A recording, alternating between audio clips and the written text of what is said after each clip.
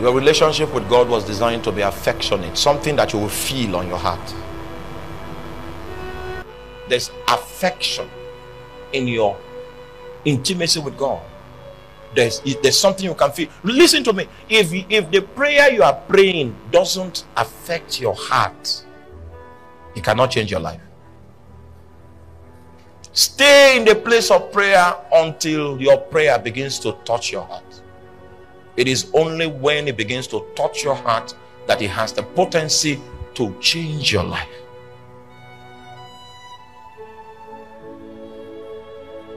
God wants to be felt. I don't know when last you were in a prayer place and and the movements of, of, of, God in your spirit man made you cry. If, if that doesn't happen, if that has never happened to you, you don't know why you're crying, but you cry. You know, some of us in the natural, nothing can make me cry, nothing. Burial. Even if they say there's thunder and half of the sky now fell, some of us don't cry but there are dimensions of the presence of God you experience. It is affection, it will affect your heart. It will trigger tears, even though you are the oh my God. It was designed to be felt. God wants to be felt.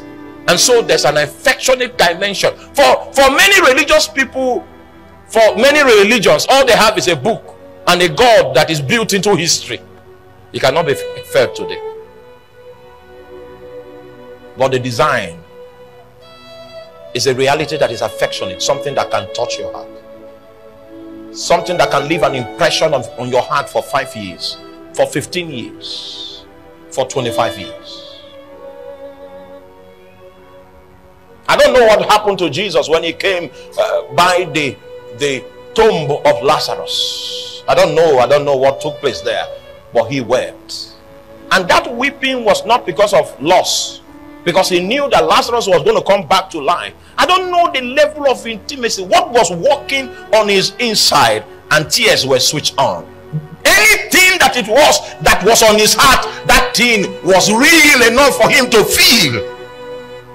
Last did you feel God? You are as hard as a stone. It means you have not gone far. Because the relationship was designed to be affectionate.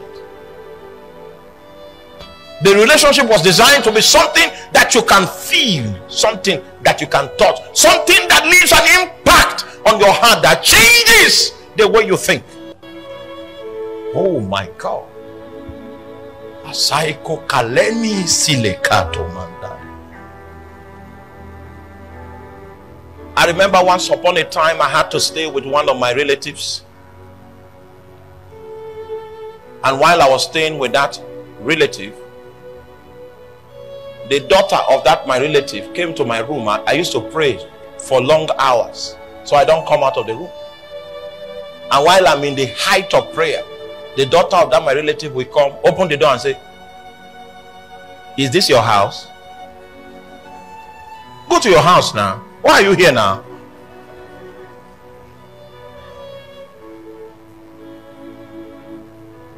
hallelujah I know what you will do under such circumstances. When you are bad, getting lost, you will hear the door because the door, if you open it, the hinges are bad. So you hear.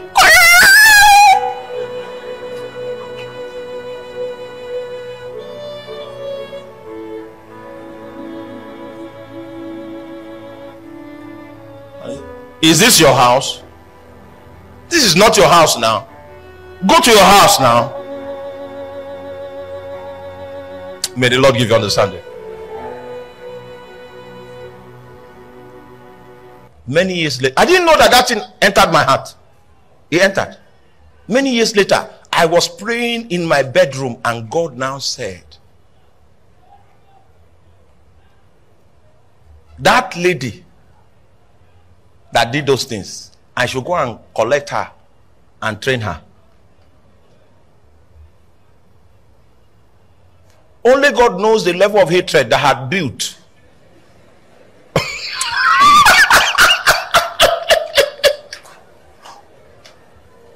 you know, this thing is affectionate. So God wanted to to troubleshoot the heart. Say, ah, this girl is here. Go and bring her and show her love. Train her. Make her your daughter. And I obeyed. It was her. But I obeyed. And when I obeyed and brought her, I started showing her love when that's that's mechanically until the love of God was now shared abroad. Do you know the impact it had on my relationship with God? I began to soar because that thing was affecting the flexibility of my heart, but I didn't know when it was removed. I could sense God so deeply, like a person standing by my side. Yes, yes. I know something for sure. If I should cry real tears here because I'm hot, Jesus will, will come to me. I know it for sure, for sure. He will, he will show. up. Oh, when, when I'm on the field and maybe I'm not strong, he comes. I was on a crusade. I was not too well. I finished preaching. I said, God, see my body. And the, the moment I just slept, I slept for like some seconds. And Jesus came.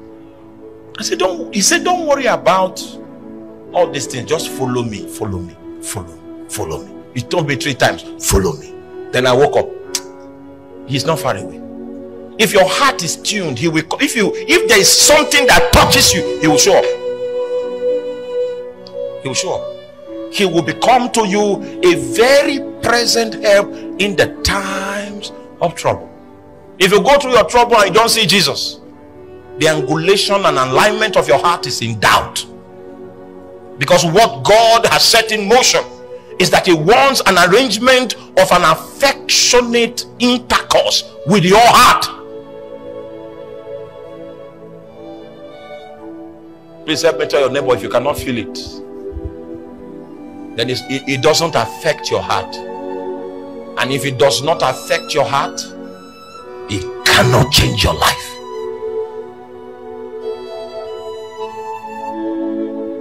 I don't stop praying until I begin to feel it. Sometimes I pray in tongues for two hours, I'm not feeling it. I just keep going. When I'm moving two hours, 30 minutes, three hours, then it, it now comes on my heart like a glow. Sometimes like a light, sometimes like a burning heat. How many of you feel things there? Oh my, it means your God is alive. If you don't feel anything on your heart when you pray to God, when you when oh my God, oh my God, there's a problem. We need to take you quickly to the intensive care unit of the grace of God and administer antibiotics. Yeah, we need to administer something quickly to help because the heart was designed to be an entry organ was designed to be an organ of affection, an organ of that you can feel things that are not tangible. If you know this affection I talk about, you will not want to keep malice because malice will, will break the door. Malice. It's a luxury I cannot afford. Oh, backbiting, it will shut the terminal out when you know that God can be felt, the things that will release, that will reduce your sensitivity, are things that you are going to fight against. You will fight against such things because the moment you can't sense God, it means you are cut off from an economy of help.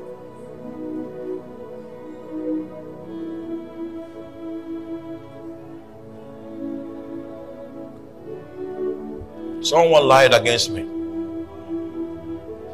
It was 10 years later, the person had the opportunity to come and say it was actually it was actually a lie. But you know what? The congregation, the people he lied to, they were not present 10 years later.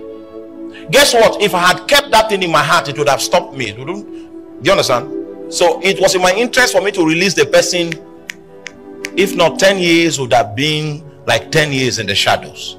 I don't want to pass time on earth which, which, which is not active time that I'm receiving wisdom from God. I'm, I'm, I'm, I'm delving into the heart of God for strategy on how to implement that will that my spirit has recognized. I don't want to spend time in mundane things. I'm still trying to argue about land. Land. Say family land, there's problem. And then people stand ah, there. Ah, I'm God. I'm God. I'm God. Because I consider my relationship with God to be more expensive than land that will create problem. Hallelujah. It is affectionate. Don't forget that. And don't forget that if it, you it, it doesn't affect your heart, cannot change your life. Cannot change your life.